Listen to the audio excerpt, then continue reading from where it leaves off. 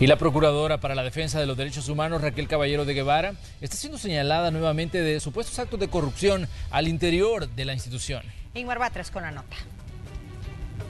Nepotismo es el trato favorable hacia familiares o amigos a los que se otorgan cargos o empleos públicos sin tener en cuenta otros méritos, una práctica que fue denunciada por el sindicato de la Procuraduría para la Defensa de los Derechos Humanos. La titular, Raquel Caballero de Guevara, en los últimos años, según los trabajadores, ha contratado entre seis y ocho personas cercanas a su familia, entre ellos sus dos hijastras, un caso por el que ya fue condenada a pagar una multa por el Tribunal de Ética Gubernamental les ha obligado en algunos casos a que renuncian a sus plazas por ley de salario, los deja por contrato con un pequeño incremento, pero esas plazas que quedan sueltas por ley de salario se las está dando a familiares de ella y a familiares de su esposo.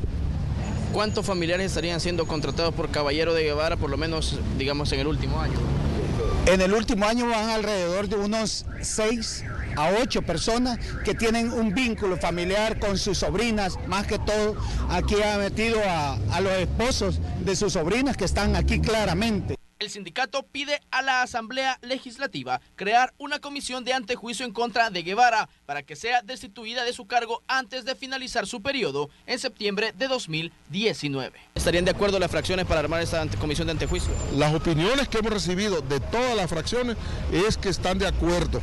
El esposo de ella no es empleado de la PDDH, pero se mueve en un vehículo de la institución, lo, tiene un motorista asignado, lo llevan y lo traen y no sabemos cuánto combustible le dan porque él ilimitadamente se moviliza en ese vehículo. ¿Qué tipo de vehículo? Es un Picat, un Picat blanco.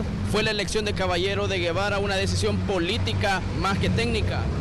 Al parecer ella llegó aquí con padrinos políticos Raquel Caballero de Guevara se ha defendido en reiteradas ocasiones señalando que tras esas denuncias hay otros intereses. Sin embargo, la Corte de Cuentas de la República también la tiene en la mira. Con imágenes de Ricardo Tobar, Inmar Batres, Noticiero Hechos.